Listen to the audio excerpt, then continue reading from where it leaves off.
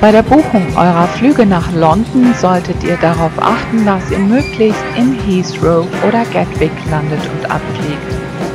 Wenn ihr mit einer der Billig-Airlines wie Ryanair oder EasyJet fliegt, werdet ihr wohl in Stansted oder Luton landen. Dann dauert die Fahrt in die City deutlich länger und ist natürlich auch teurer. Ich habe bisher immer Heathrow genommen, da man gut und günstig mit der Tube ins Stadtzentrum kommt. Ich habe übrigens selber den Tipp gelesen, dass man beim Hinflug auf der rechten Seite sitzen sollte und dann meist eine tolle Aussicht auf die City hat. Und was soll ich sagen? Der Blick von meinem Fensterplatz auf der rechten Seite aus war tatsächlich unbezahlbar.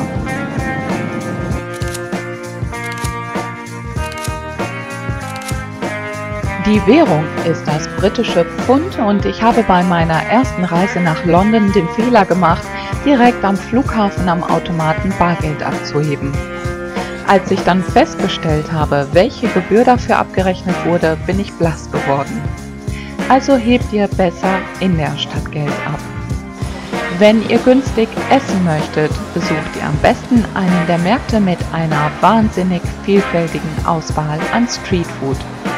Soll es einmal noch günstiger sein, so könnt ihr zum Beispiel auf den Meal Deal von Tesco zurückgreifen. Das ist eine weit verbreitete Supermarktkette und ihr erhaltet ein Sandwich oder Baguette, einen Snack und ein Getränk, die entsprechend mit dem gelben Meal Deal Symbol gekennzeichnet sind, für gerade einmal 3 Pfund. Günstiger geht es kaum. Mein Abendprogramm bestand mehrfach aus dem Besuch eines Musicals oder Theaterstücks. Und das geht recht günstig, wenn ihr keine hohen Ansprüche hinsichtlich der Sitzplätze habt. Eine Möglichkeit ist der TKTS Ticket Shop am Leicester Square, wo ihr Resttickets für den gleichen Tag kaufen könnt. In der Nähe findet ihr auch etliche weitere Ticketshops, Allerdings bin ich mir hier nicht ganz sicher, ob die angegebenen Ersparnisse immer den Tatsachen entsprechen.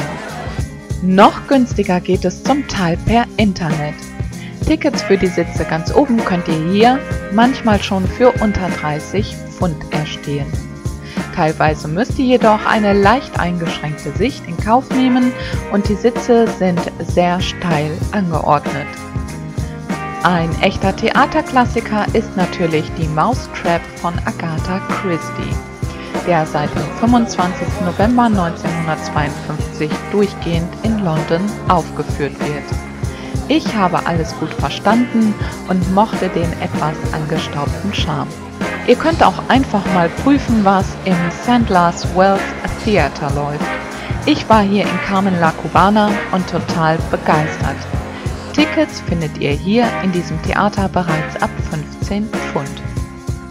Insgesamt ist das Angebot an Musicals, Theater und Tanz unglaublich vielfältig und es wäre schade, es nicht zu nutzen.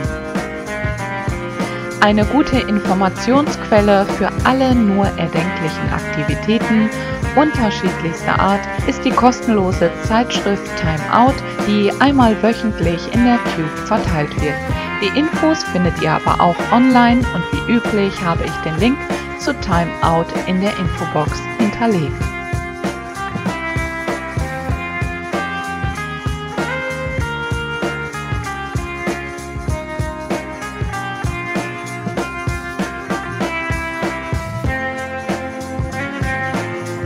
Dann habe ich zum Schluss noch eine Empfehlung zur günstigen Fortbewegung.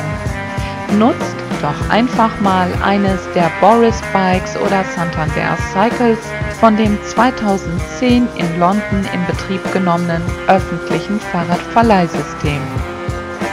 Im August 2017 umfasste das System mehr als 11.500 Fahrräder an über 750 Stationen.